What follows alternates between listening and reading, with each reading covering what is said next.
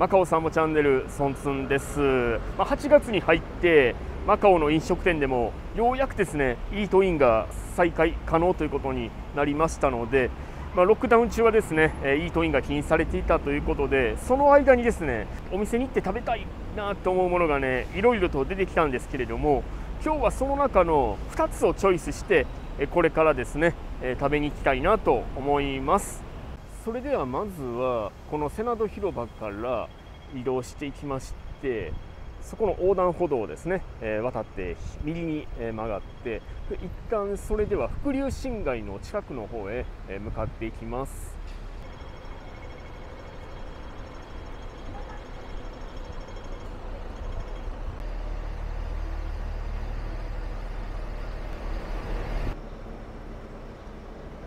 はいそれではねお店の方にね到着になってきたんですけれどもずっと以前にもですね一度動画で、えー、紹介したことがある食べ物になりますがバオシュメイシーというお店になります。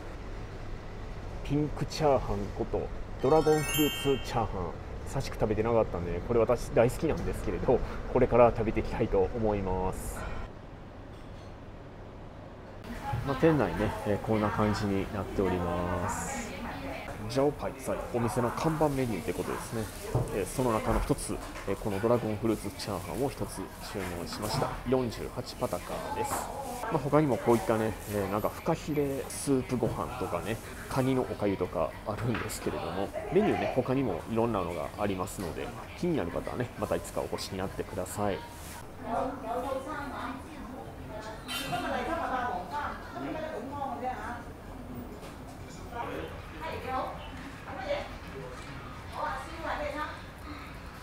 アイスレモンティーをね1つ注文したんですけれどライムとレモンが入ってますね。レモンもねライムもこの表にどっさりとね入れてくれております。うんめちゃめちゃ火出てうまい。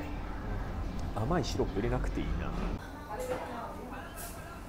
以前食べた時はねドラゴンフルーツチャーハン出てくるのすごい早かったんですけど今日はねちょっと待ってくれって言われてねなんでかなと思ったらさっきねあの店員さんがねなんか戻ってきたの見えたんですけれども袋にねドラゴンフルーツが入っていたんですよ。どうやらドラゴンフルーツを切らしてみたいでで慌ててなんか市場かどっかにね買いに来たんでしょうね。ま注文してからね15分ほど経ちましたけれどもドラゴンフルーツをバッと切ってね、え、これからザーってね炒めてチャーハンなんでねすぐに出てくるでしょう。はいではドラゴンフルーツチャーハンになります。結構もろにねドラゴンフルーツがねこう入ってるんですけれどね上にドラゴンフルーツが刺さってますね、まあ、ドラゴンフルーツ以外にこカニの卵であるとかエビとかね鶏の卵であるとかそういったのも見えますね。えーと、きゅうりピクルスでちょっと時間ね待ってしまったんでねなんかサービスですということでレタスの炒め物までつきました。では早速いただいていきますが中ねこんな感じになってます。もう中までが完全にピンクですね。ピンクチャーハンです。うまい。そんじょそこらのチャーハンよりも全然うまいんですよね。なんかね日本の中華料理とかはラーメン屋さんとかに出てくるチャーハンとねなんかあんまり変わらない味なんですよ、うん、ところどころねドラゴンフルーツの甘さがちょっと入ってきたりするんですけれど、うん、これはねもう相当レベルの高いチャーハンと思ってますよ。エビ。やっぱりチャーハンにねエビは欠かせない具材ですね。まあドラゴンフルーツそのものがねそこまで味の濃いフルーツではないんですけれども。なぜかねチャーハンとねバッチリ相性がいいんですよ。見た目はねちょっとピンク色っていうか紫色っていうのか、うん、ちょっとね えっていうような感じするかもしれないですけれどこれ本当におすすめのチャーハンなんでねあのマカオに来たらね絶対食べてほしい一品の一つでありますね。ドラゴンフルーツのね果肉もこのようにバッチリ入ってます。きゅうりのピクルスか。あこれもうまいわ前ねあのドラゴンフルーツチャーハン食べた時にきゅうりのピクルスじゃなくてなんか変なドレッシングであえたサラダだったんですけどそれがまずくてねそれはねもう残してしまったんですけど、うん、このきゅうりのピクルスは美味しい。スプーンが止まりませんね。最近ねかなり暑くてね夏バテみたいな状況でね食欲もねちょっと最近あんまりなかったんですけれどそういう時にこのチャーハン、いいですね。レタスの炒め物で、えーと、オイスターソースで多分味付けてると思います。うん。まあこれはねあの一般家庭でもね普通に作られるレタスの炒め物ですね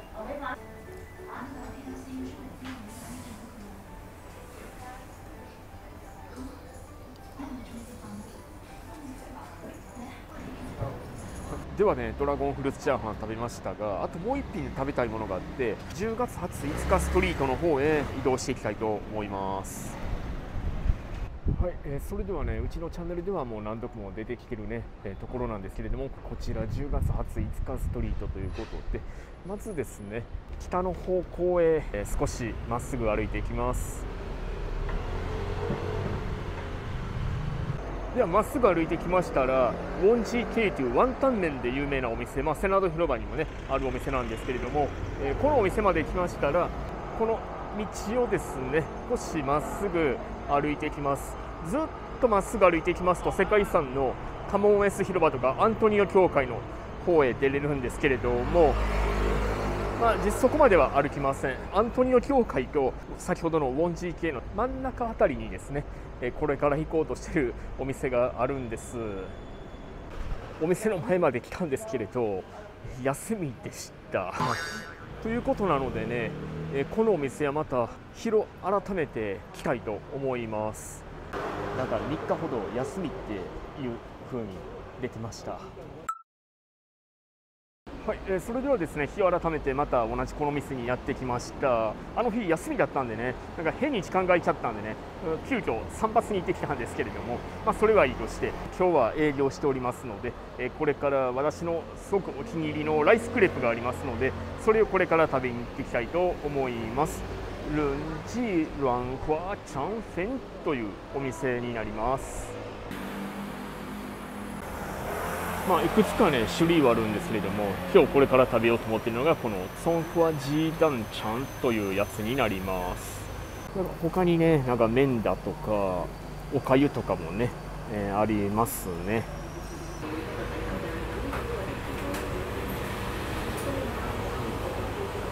有名な人も来てるんですかね。この紫の人がお店の店主さんですかね。日本語も書いてますね。お店の人がね日本語の説明これに書いてますよってねまあ私一目見て日本人で分かったんですかね。現地の人はこう食べる。イートインできるがテイクアウトの人がほとんど。まあそうですね。普通はテイクアウトの方がほとんどだと思います。近所の人やオフィスで食べる用として朝から持ち帰りとかそうですね。朝食メニューとして食べることが本当は多いですね。3種類のタレはお好みで自由にかけることができる。どんなタレがあるかはまた後で皆様にお見せします。それでは製造過程をお楽しみください。まず布の上に米粉溶液を流します。その後一旦蓋をして蒸します。さらに溶き卵薬味のネギを振りかけてさらに蒸していきます。蒸し終わりましたら一旦布ごと取り出します。さらに布を取り外した後適当な大きさにカットして容器に入れてもらって完成になります。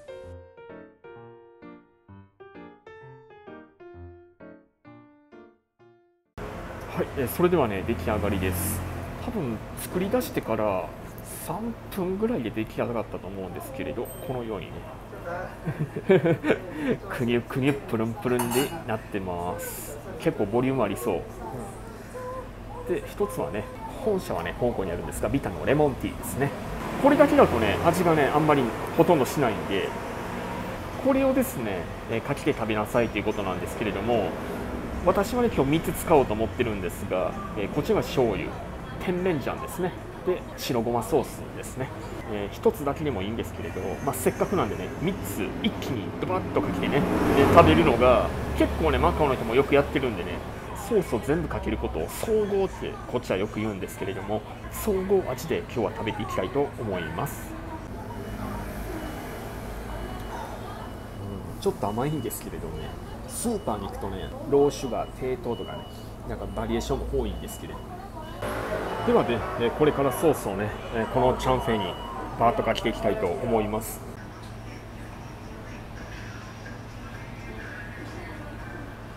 甜麺醤をバーッとかけてで最後ちょっとね醤油もバーッとかけていきます。まあ、さっきのね3種類のソース後からでも追加できるんでとりあえずね3つ全部ねこうバーって振りかけたんでこれからね食べていきたいと思います。いただきます。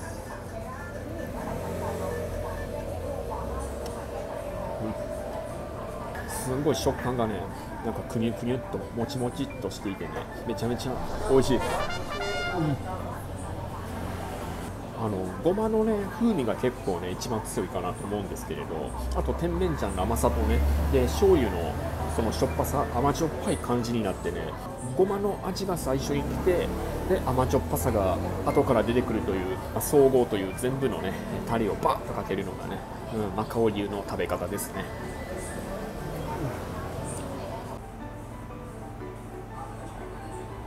まあ、先ほども言いましたけれどもマカオの人ってね朝食でこれを食べることがよく多いんですけれども、まあ、あとはちょっとした軽食とかスナック感覚ですね。なんつうの駄菓子というのか、まあ、駄菓子屋でねなんか昔あのお好み焼きとかたこ焼きとか焼いてたじゃないですか。多分あれに近い存在かなとは思うんですけれどね。プラス朝食代わりにもなるというですねこのチャンフェンです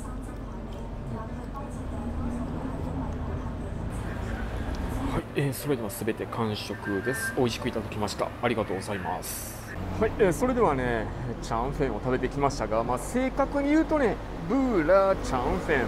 多分監督でボーライチョンチョンファンというのかな、まあ、じゃ監督の発音はねあまり私も自信ないんですけれども、えー、まあ布でね引き伸ばして作るということでねブーラーとね漢字で表すということなんですけれどね清掃方法2つあるらしくてさっきみたいにね布にこう流してね作る方法ともう直接ねなんかステンレスの容器みたいなのに入れてね作る方法とあるみたいです。あ今はねもうほとんどがあのステンレスに入れて米粉溶液をね流して作るっていうのが多いらしいんですけれども布でなんか引き伸ばして作った方がなんか綺麗に仕上がるということでこちらのお店でも布を使って作られております。で、えー、とこれからねちょっともう一つね思い出したものがありましたのでそれをねこれからちょっとね散歩して食べに行きたいと思います。しかしさっきのシャンフェンは本当に美味しかったな。では最後はグアンチエンジエというところにやってきました、まあ、セナド広場とかからも近いところではあるんですが、え、最後にですねこの辺りでデザートを食べてみたいなと思いましてまあ、過去にもですね一度紹介したことがあるものではあるんですが、まあ、ちょっとこれから行っていきたいと思います。まずはこのグアンチエンラオジエというところをですね、え、ずっとまっすぐ歩いていきます。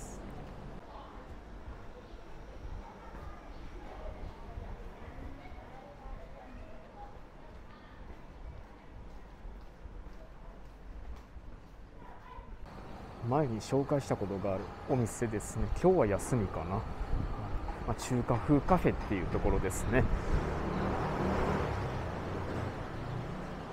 それではねもう間もなくお店に到着になります。見えてきましたね。こちらロンジー豆腐というお店になります。ここでね今日は豆腐ふわっという、まあ、豆腐のデザートを食べたいなと思います。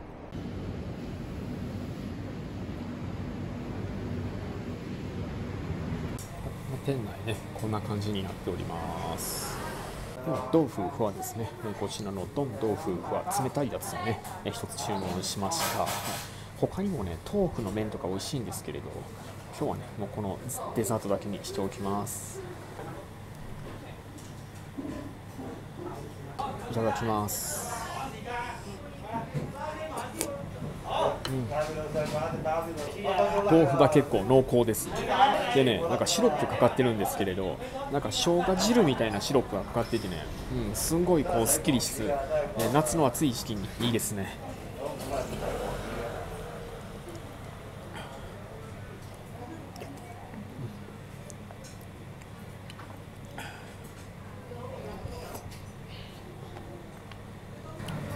はい、あっという間にね完食です。めちゃめちゃすっきりしててねすっごい食べやすかったですね。てなわけで今回は3種のものを食べました。ドラゴンフルーツチャーハンにシャンフェン。そして最後豆腐ふわというねデザートで締めましたけれども7月にロックダウンがありましてイートインがねできなかったということでその期間にねなんか食べてみたいものあるかなということでねまあいろいろとね イートインで食べたいものが出てきたんですけれども今回はその中の3つをチョイスしました、えー、この3つですね皆様にもぜひお勧めしたいものでありますのでまたマカオにお越しになった際気になるものがありましたらぜひ食べてみてください。それでは今回はここまでということにしておきます。マカオサムチャンネルソンツンでした。ご視聴どうもありがとうございます。チャンネル登録をして一緒にマカオのお散歩へ出かけましょう。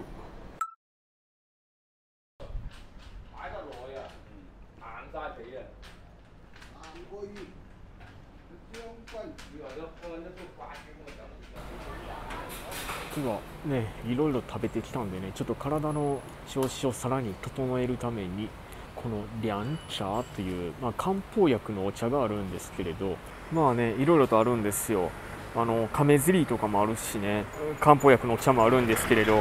どれにしようかな効能がねいろいろと違うんですけれどね呃，一杯清肝热吧。在这里喝啊，大家。呃，在这里喝。読んでたらおばちゃんがね何にするんだって聞かれたんで、この清肝热というのにしました。こうお金支払ってるうちにもうおばちゃんがね注いでくれたんで、こう中華風の器に入れてくれてね。じゃあまあこれから早速飲んでいきたいと思います。いただきます。